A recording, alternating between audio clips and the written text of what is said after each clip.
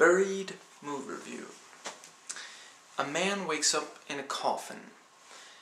All he has with him is a lighter, a cell phone, and a couple of various other things.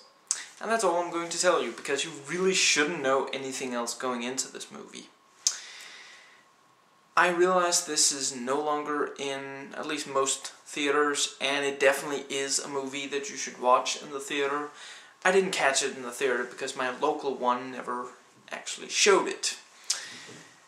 However, it is still, you know, quite recent of a movie, and it does play okay, you know, in the home cinema.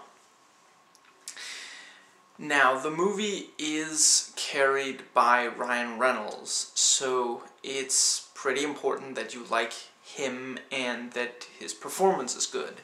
His performance is good, and, you know, some people are gonna like his character, some aren't. Ryan Reynolds is usually Ryan Reynolds in movies, you know, he usually cracks jokes and, you know, he does the whole sarcasm thing. I personally thought it still worked well in the movie and you know, it didn't get to be too comical. It you know, there is some humor to it, but it's more in the kind of acidic wit kind of way. It's really you know, you feel with him even when he is cracking jokes. And I think with entirely without jokes, it would have been just too dry. There are other performances, but it's because he calls some people.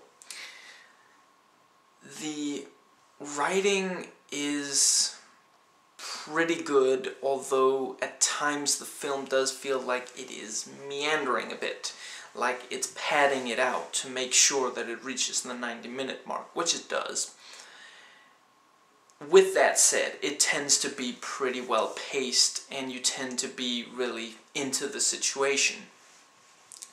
And along the way, new obstacles come up and yes, this film is indeed filmed from within the coffin. So, you know, if you have really bad claustrophobia or you don't want to spend 90 minutes really close to Ryan Reynolds, yeah, don't watch this movie.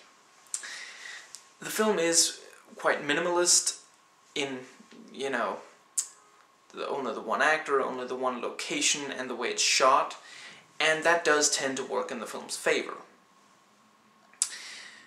All in all, you could call it gimmicky, but it does work as a thriller, and the approach does tend to work.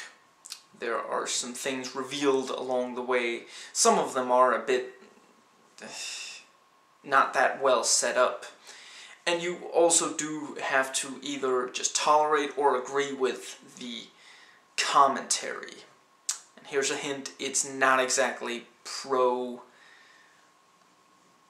um, America's handling of certain things recently. Please rate and comment, and hey, if you like this video, that subscribe button's just waiting for you to click it.